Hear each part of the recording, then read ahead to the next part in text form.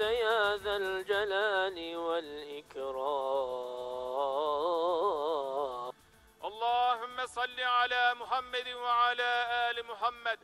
Kema salli kardeşlerim. Önümüzdeki pazar günü yatsı namazını müteaki beraberlik içinde Ramazan'ı idrak etmeyi nasip eyle. Amin.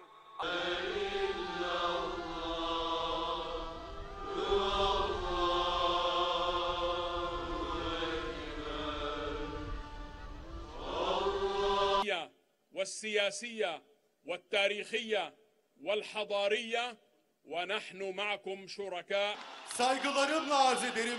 Buyurunuz Sayın Cumhurbaşkanı.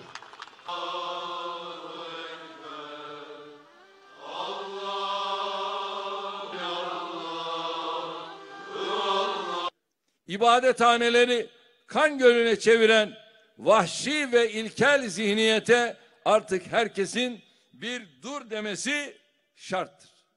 Camilere saldıranlarla kiliseleri hedef alanlar aynı karanlık caminin kurdela kesim töreni için Bismillahirrahmanirrahim.